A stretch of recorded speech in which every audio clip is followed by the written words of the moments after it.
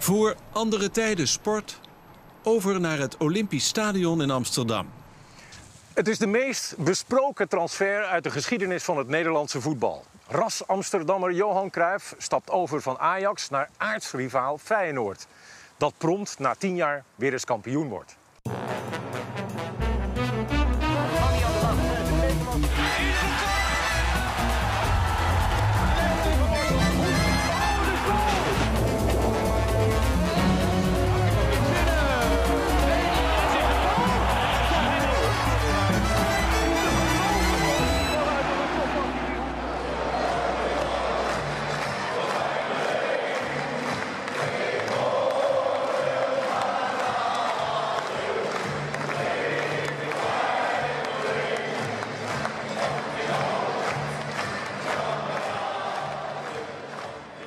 Goedenavond. Het past niet, het schuurt en toch gebeurt het. Verwarring overheerst nog altijd als we naar de beelden kijken. Op 6 mei 1984 viert Johan Cruijff het kampioenschap van Feyenoord op het bordes van het stadhuis van Rotterdam.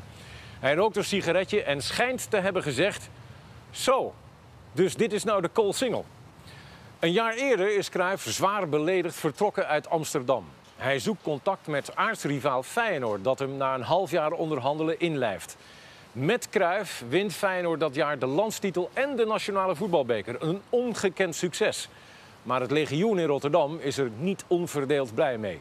Andere tijden sport over de wraak van Cruijff.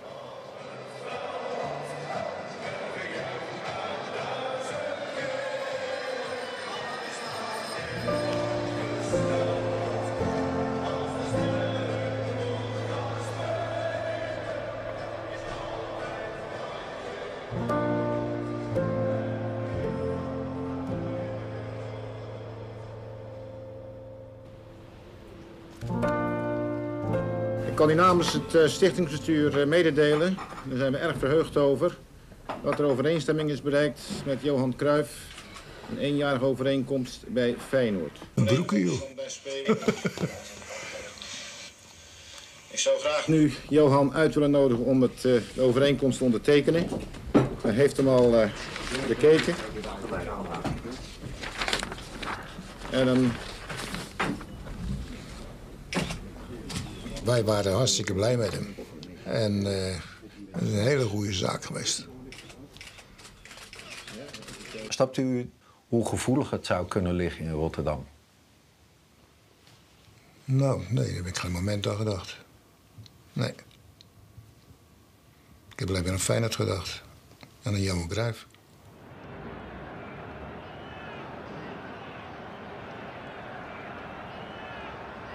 Je had jaarlijks een seizoenkaart, Ja, ook in het seizoen 83, 84. had ik hem besteld. En ik had hem al binnen. En wat gebeurde er toen? Eh, nou, de, de geruchten gingen dus al dat eh, Johan Cruijff bij ons zou komen spelen. En ja, dat vond ik toch een brug te ver. En, en ik, heb dat, ik heb die kaart gewoon, ge- toen het echt zeker was, die kaart envelop gedaan. En eh, richting stadion Feyenoord, retourafzender of zo. Je hebt hem verscheurd en teruggestuurd. Ja. Misschien is het een hele aardige, lieve, vriendelijke man, dat weet ik niet. Maar eh, je maakt eh, Yasser Arafat ook geen president van Israël. Jij wantrouwde Zijn motieven. Hij, op- zijn motivatie, dat Ja. hij hier alleen maar was voor de eer. Ja. Nou ja, zijn wraak. En het geld, misschien heeft dat niet eens zo'n rol gespeeld in die, in die periode van zijn carrière. Maar eh, zijn motieven vond ik niet zuiver. Wraak nemen op de club waar je groot bent geworden, die je heeft gemaakt tot alles wat je, wat je nu bent. Ook al is dat dan de aardsrivaal van, van deze club hier. Eh, dat vind ik een zo lage emotie, daar, daar kan ik niet eh, mee uit de voeten.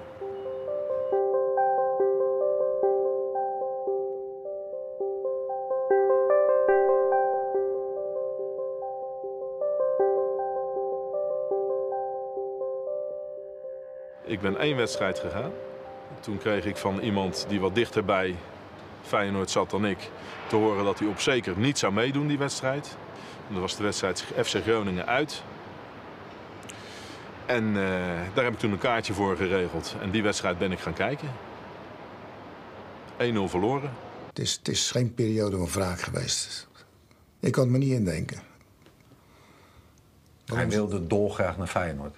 Ja, dat was de boodschap aan ons. Nou, en hebben we dus, eh, ja, zijn we op ingestapt. En het was natuurlijk de Nederlands beste voetballer die haal je hier binnen. Heeft u tijdens de onderhandelingen heeft u Johan Cruijff zelf ontmoet? Nee, Geen enkele keer. geen enkele keer. De dag dat u Johan Cruijff ontmoet, is de dag dat hij het contract ondertekent. Het was verrassend dat we er toch uit zijn gekomen voor ons. Dus ik weet eigenlijk nog niet eens of die verlof zou komen dagen. Zo eh, onzeker was de toestand.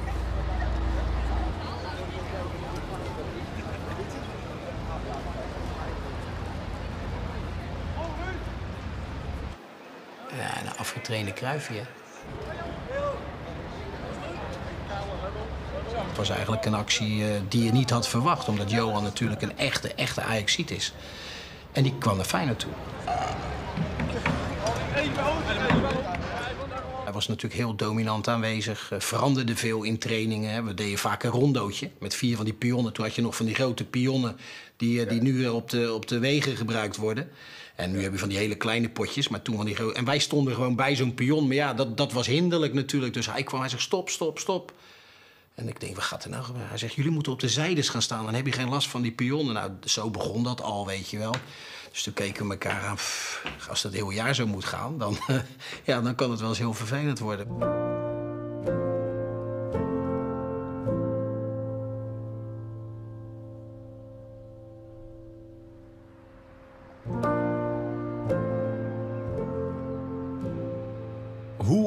Dat in Amsterdam? Hun Jopie in een Feyenoord-shirt. Cruijff-watcher Nico Scheepmaker schrijft... Het probleem zit hem waarschijnlijk in het feit dat het Feyenoord-shirt zoveel op het Ajax-shirt lijkt. Allebei verticaal rood-wit, maar daar toch weer van afwijkt. Het is daardoor net of Johans hoofd scheef op zijn romp is geplaatst. Hoewel ik toch eigenlijk geloof dat de grootste belemmering om hem te accepteren in het Feyenoord-tenue die zwarte broek is. Überhaupt is het Feyenoord-tenue te donker voor een schriele figuur als Cruijff.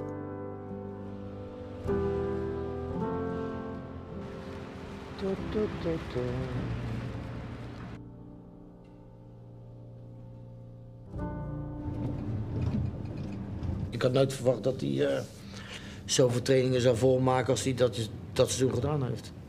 Eigenlijk alleen de maandag na de wedstrijd deed hij het wat rustig aan met uitlopen en zo. Maar verder deed hij eh, gewoon eh, al- alles mee hoor. Hij was bloedfanatiek. Ja, absoluut. Ja, En waaruit merkte je dat? gewoon zijn hele gedrag. Van eh, zowel in het veld als buiten het veld. Dat is ontzettend gedreven was hij, ook de buiten. Deze tunnel, denk ik, die moet Feyenoord vijf, zes punten dit jaar op gaan leveren. Je komt hieruit, nerveus voor een wedstrijd. 50.000 mensen op die tribune gaan schreeuwen. Tegenstander staat in principe met 1-0 achter. Op momenten dat Feyenoord dus een iets minder periode heeft in een wedstrijd, kunnen al die mensen je eroverheen helpen en daardoor een wedstrijd voordelig laten verlopen.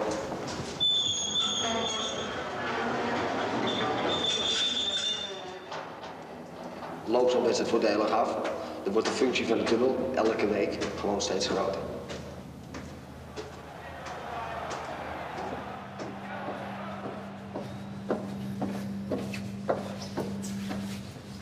Dit is de oude tunnel, hè?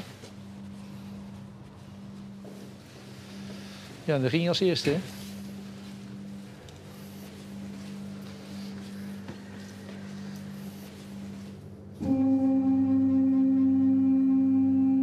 Vroeger had je een eh, tegengewicht, of hoe noem je dat? Ja, toch? Ik had eigenlijk eh, voor mezelf besloten om eh, te zoeken naar een andere club. Ik geloof een week of twee weken later werd bekend dat, eh, dat Johan eh, naar Feyenoord toe kwam. En dat, eh, dat heeft mij ook besloten om te zeggen, nou, dat wil ik nog een jaar. Ik wil nog wel een jaar met hem, eh, bij Feyenoord blijven om, om met hem te voetballen, om met hem te trainen. was een grote eer. Ja, nou ja, grote eer. Grote eer. Ik vond het fantastisch dat hij naar Feyenoord toe kwam. Want Ja, mee- wie maakt dat mee om met zo'n speler eh, samen te kunnen trainen eerst en, en hopelijk samen te kunnen spelen? Moet je even kijken of we die Limburgse passie hebben voor het uit- en een thuis. We hebben geen Limburgse passie meer als... eh, Dan moet ik het even bestellen. moet besteld, besteld worden. Oké.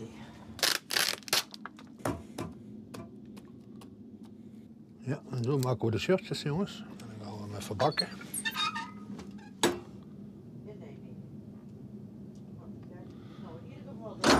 Zo. Zo, nu eentje blij gemaakt. Vroeger had je nog het AD-toernooi. En toen speelden we tegen Liverpool. En toen heb ik Johan pas echt leren kennen. Want eh, Johan is een eh, jongen die geeft nooit een normale bal. Acht van de tien ballen gaan buitenkant voet. Kruif. Vermeulen weggestuurd. Opnieuw dus een prachtige paas van Kruif. En dit is hem dan. 2-1. Ik kan maar voor één man komen en dat is zo fenomenaal. Hè? Die bal is stil, hè? Je hoeft niks te doen. Ja, dat is. Dat is een bal geven voor 40 meter en die bal ligt stil. Je hoeft alleen maar die beweging te maken. Je bent. eh, ja. Ja. Dat was echt zo'n eh Keulemansbal. Zo'n eh driebanden. Zo echt zo perfect. Hij kon ook heel aardig biljarten. Hij was niet van ons niveau, moet ik eerlijk zeggen. Van onze assistent-trainer dat was verreweg onze beste biljarter. Ik heb zelf ook jaren en jaren zelf gebiljart. eh, zelfs in competitieverband, eh drie banden. Dus ik kon sowieso ook beter eh biljarten als Johan. Maar hij had één, één een driebanden actie. En die kon hij dus weer beter als dat wij hem konden. Die had hij zelf een beetje uitgevogeld. En daar hebben we best wel een aardig tijdje over gedaan om diezelfde beweging ook in ons, eh, in, ons eh, vermogen te krijgen. Ja, dat was wel leuk. Dat is iets wat Epke Zonderland heeft met een bepaalde sprong. Al hij dus ook één, één bal dan legt hij ze keurig netjes neer. En, eh, nou, dat werd dan een hele mooie driebandenbal. Dus eh, in die tijd deden we gewoon heel veel samen. We gingen ook vaak eh, met elkaar eh, ergens naartoe, et cetera, et cetera. Maar Cruijff ging privé nooit mee, hè? Nee, nooit. Nooit. Dit was puur zijn werk. Boom, klaar. That's it. Die krijgt misschien de ruimte. Dan komt Hoekstra. En die scoort. Wat is dit fantastisch gedaan door Feyenoord. Heel goed genomen vrije schop. Jeljaskov trok de aandacht. En toen ging buitenom. Die Volendam-verdediging. Ja, ja, dat fameuze buitenkantje rechts. Feyenoord, met Cruijff met rug nummer 10, begint goed aan de competitie. Alleen Ajax weet gelijke tred te houden. Gebroederlijk staan ze bovenaan. Als op zondag 18 september, vroeg in het seizoen, Cruijff tegen zijn oude club aantreedt. In het Olympisch Stadion wordt Feyenoord op legendarische wijze vernederd. Door jongelingen als Van Basten, Koeman en Rijkaard. De 8-2 tegen Ajax. Ja. Staat je daar iets specifieks van bij? Ja, ik was er niet. Nee, ik word goed. Ik had het eerste half seizoen was ik niet, eh, zat ik niet op de bank. eh, eh, was alleen maar aan het trainen. En ik was ook niet geselecteerd om naar Amsterdam toe te gaan. Nou ja, het was een wedstrijd waarin, eh, denk ik, Thijs begon met een tactische fout.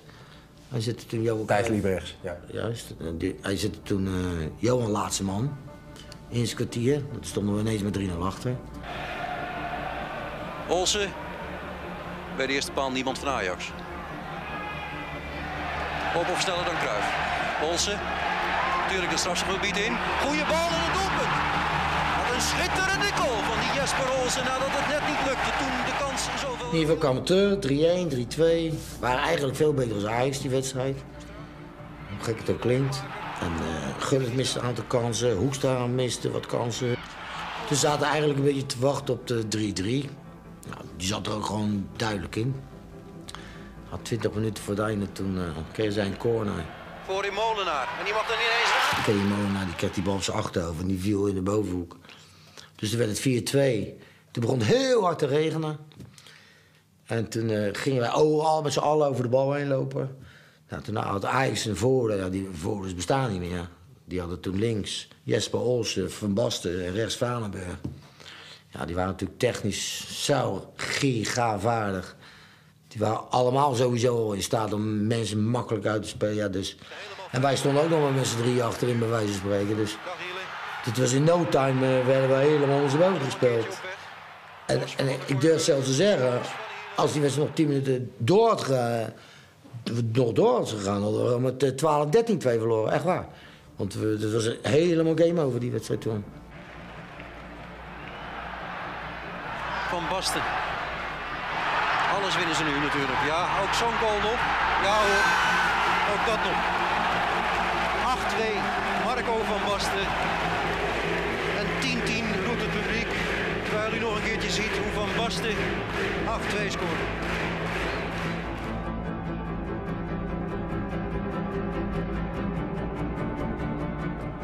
Ik weet nog goed dat we in die bus stapten. Ik zat naast Johan. Dus ja, maak je geen zorgen, wij worden gewoon kampioen. En thuis pakken we ze ook.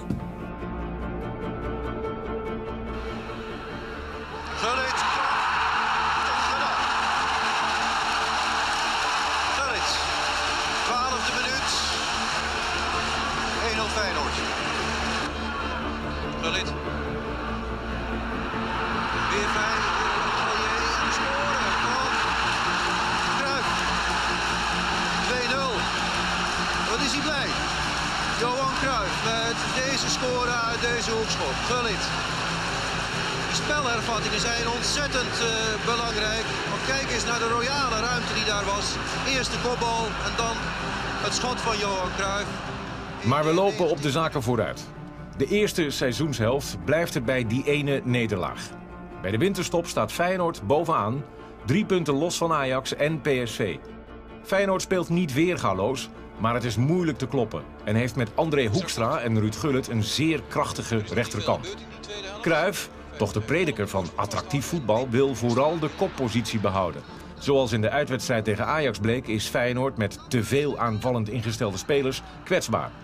Publiekslieveling Pierre Vermeulen wordt kind van de rekening. Vermeulen, rechterbeen voortrekt, knap. Inkomen van dichtbij. Ik was het type speler natuurlijk die eh, acties kon maken. Waar de mensen natuurlijk eh, vanuit het stadion komen natuurlijk. hè. Hoor je dat de mensen je namen roepen? Natuurlijk hoor je dat. hè. Stemming stijgt in het stadion. Lieberecht slaat Pierre Vermeulen. En Ja, dat is de fans hè. Ja. Moet je goed hebben gedaan. Dat zijn vitamine. Ja. Nou, Pierre was natuurlijk technisch gezien eh, een van onze beste spelers. Was ook natuurlijk ook in staat om drie, vier, vijf mensen te passeren. Alleen zijn rendement was een beetje twijfelachtig. Omdat Pierre hield ook van mooie acties die niet altijd rendement opleverden. En ook niet echt eh, eh, in dienst wilde spelen van Johan bijvoorbeeld. Die trok zijn eigen plan. Pierre is een eh, fantastische gozer, absoluut. Het is een Limburger, het is, een het is een, kan hele eigenwijze Limburger zijn. Maar, maar niet echt een super teamspeler. Die, kijk, en Johan wil natuurlijk een team hebben wat een groot gedeelte wel om hem draaide natuurlijk. Hè? Want hij wilde dat ene seizoen nog één keer uitblinken. Dus alles moest daar in principe voor wijken. Dus in dit geval was Pierre het slachtoffer. Wat deed hij dan, Johan? Die gaf, als eh, Pierre de diepte in ging, dan speelde hij die bal een meter, anderhalve meter over de achterlijn. Dat hij hem net niet kon halen. Dus toen zei ik uh, ja, Johan, ben je aan het doen? Hij zei, ja, moet hij me luisteren? Dus hij maakte hem gewoon op dat moment gewoon systematisch kapot. Of tenminste, hij toonde aan de trainer dat dat niet functioneel was. En dat er iemand anders op die plek moest komen. Want het leek alsof Vermeulen het niet goed deed. Ja, daar lijkt het dan op. Dus hij heeft Vermeulen kalt gesteld. Ja, ja, ja, ja absoluut. Ja. Ja, ik, nee, ik heb niks geks ondervonden. Nee, nee, ik heb niks geks ondervonden. Ja, hij speelt acht van de tien ballen aan de rechtsbuitenkant. Dus ja, dan zit je op een moment zit je als linksbuiten. Ja, aan de rechtsbuitenkant, dan kan hij meer lang, langs de lijn geven eigenlijk. Hè? Ja. Ja. Tweede wissel bij Feyenoord. Door Bart in te brengen voor Vermeulen. Omdat Liebrechts niet meer voldoen aan de wens van zijn supporters die meereizen. En die wens gaat altijd uit. Ik kwam er na de winterstop kwam ik erin. En sindsdien ben ik er niet meer uitgegaan. Ik heb steeds die, die basisplek gehouden. Had je het zelf kunnen bedenken, Stanley Bart als linksbuiten? Nee. Nee. Nee. Ja, weet je wat is? Je speelt drie jaar bij Feyenoord en eh, je speelt iedere wedstrijd bijna. Dus komt dan in de basis en dan op een gegeven moment eh, ja, word je eruit gespeeld door linksback. Dan denk ik van ja, nou dat eh, kwam toch zwaar op de markt. in de ogen van, van, de, van de media of van de mensen die dat be- becommentariëren eh, en die erover schrijven, ja, dan, dan ga je zeggen die Stanley die hoort niet als linksbuiten de- daar te zijn. Want die heeft die kwaliteiten niet. Nee, natuurlijk heeft Stanley niet de kwaliteit als een linksbuiten. Maar Stanley Bright speelde niet als linksbuiten. Ja. Hij stond op de positie als linksbuiten, maar hij speelde niet als linksbuiten. Gullit neemt over. Ruud Gullit en Leenheer. Gullit. Nou, dat. Schot, schuivertje. Stelt niets voor.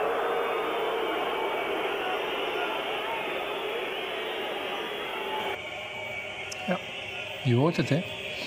Ja, dat hoorde ik ook. Het was week in, week uit. Elke wedstrijd. Elke wedstrijd. Elke wedstrijd. Dat merk je natuurlijk wel, ja. Ja, dat is niet prettig. Nee. Nee. Ja, dat was jammer voor die jongen, vond ik wel. Hij had het echt mee, mee te doen, want Stanley heeft dat niet verdiend.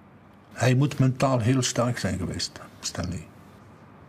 Dat hoor je, fluiten of roezemoes. Of, eh, daar, ja, dat, dat, dat voel je, dat hoor je.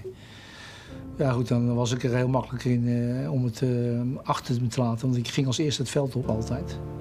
Dus eh, dan heb ik het er maar gehad en dan, dan was het klaar. Je ging als Ik eerste ging, als het goed is, ging ik altijd als eerste het veld op. Ja, om dit te hebben gehad en precies. Daarna kan ik me weer, precies. Ja.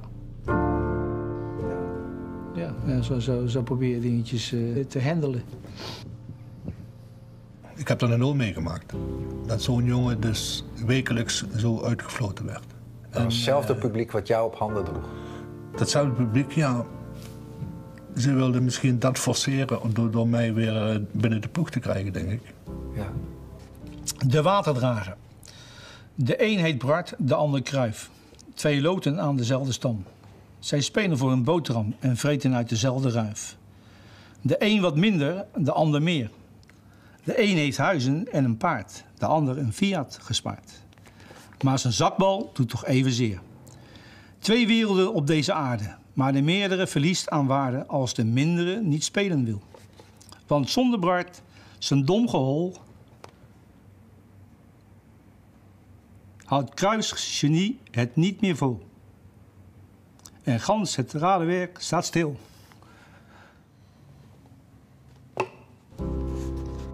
We zijn inmiddels 13 minuten onderweg. Demarrage bij Hoekstra. Huibrechts klopt Houtman. En daar is de kans voor Cruijff. En het is 1-0. Uitgerekend hij, Johan Cruijff. De man die als geen ander het gezicht van Feyenoord bepaalde, opent hier de score in de 13e minuut van de wedstrijd. Cruijff krijgt zijn zin. En met linksback Stanley Brart op de linksbuitenpositie behoudt Feyenoord de voorsprong. Sajan detail, met Pierre Vermeulen in de ploeg, werden meer punten gehaald. In de uitwedstrijd tegen Willem II wordt Feyenoord kampioen en krijgt Cruijff zijn wraak op Ajax. Vormenoy. En daar is Bart, de meest verguisde Feyenoorder van dit seizoen. En de chaos is compleet. Het is 0-4. Dan verdwijn je in de massa. En Vormenoy verleent een dienstje voor het eenmansfeestje van Stanley Bart nu.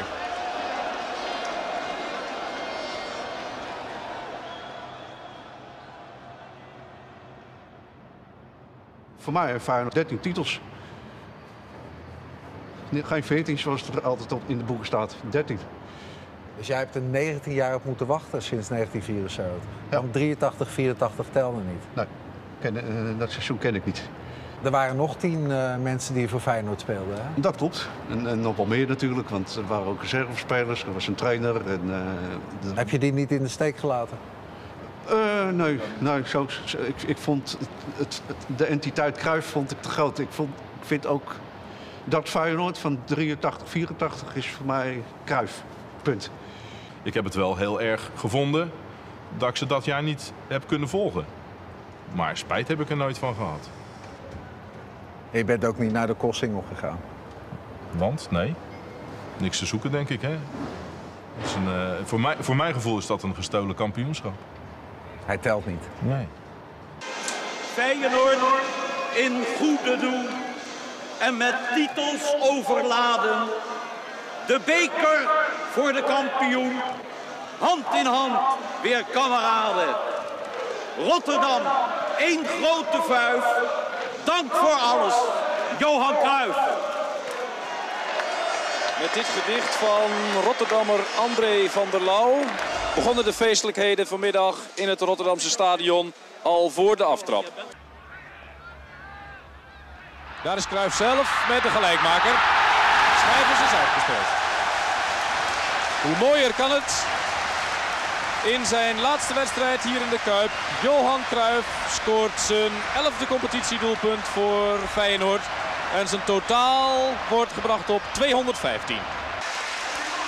En daar is dan drie minuten na het doelpunt van Peter Houtman het definitieve afscheid van Johan Cruijff van de voetbalvelden. Ja, ik hield hem vast, dat wist ik al van tevoren. Waarom hou je hem vast? Ja, omdat hij gewoon iets beters verdient. Na een imposante carrière die zo'n 20 jaar geleden begon in Groningen tegen GVAV neemt Cruijff via Ajax, Barcelona, Kijk, dit verdient hij. Los Angeles Aztecs, Washington Diplomats. Het einde komt toch nog onverwacht. Voorzitter Gerard Kerkem moet uit de Telegraaf vernemen dat Cruijff, 37 jaar oud, stopt met voetballen. Anders dan de fanatiekste supporters was binnen de spelersgroep van Feyenoord iedereen om. Zelfs het kind van de club, Mario Been.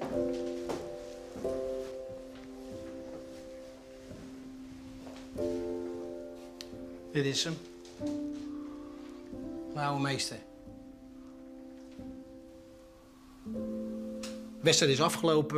We gaan door de, de oude tunnel toen de tijd nog eh, naar de kleedkamer. Dan kom je in de kleedkamer. eh, daar stond wat te drinken. En, en hè, we, eh, ik weet niet eens meer, de jongens dronken een biertje. Ik zou ongetwijfeld een colaatje genomen hebben toen de tijd, omdat ik nog jong was. Maar toen ben ik naar Johan gegaan. Ik zei, Johan, luister alsjeblieft. Ik zeg, mag ik jouw shirt hebben? Hij zei, tuurlijk jongen. Dus hij geeft me dat shirt. Dus dat heb ik in, de- in mijn tas gedaan. En uh, daarmee naar huis genomen. En eh, nou, dat heb je gezien. Altijd gekoesterd.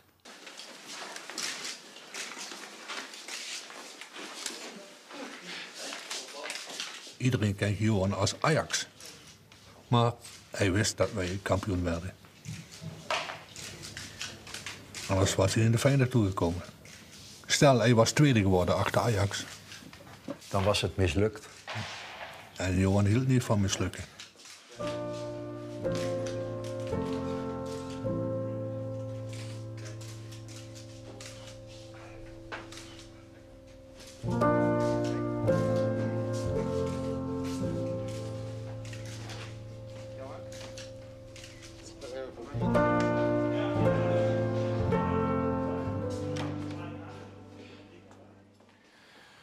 Zover Rotterdam.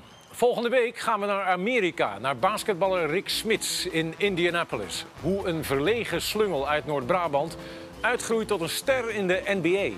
Andere tijden sport. Volgende week, zelfde tijd, zelfde zender. Wie gaat die bal nemen? Rechtsonder ziet u het staan. 1 3 tiende seconde. 1 punt verschil. 1 3 tiende seconde. Derek McKee neemt de bal. Miller kan hem niet krijgen. Daar komt Rick Smits naar voren. Smits krijgt de bal. Schijnbeweging. Bal omhoog. Bal goed. Bal goed. Rick Smits scoort. 1 tiende seconde voor tijd. Als je het allemaal terugdraait. Brian Shaw kan het niet geloven. Niemand gelooft het.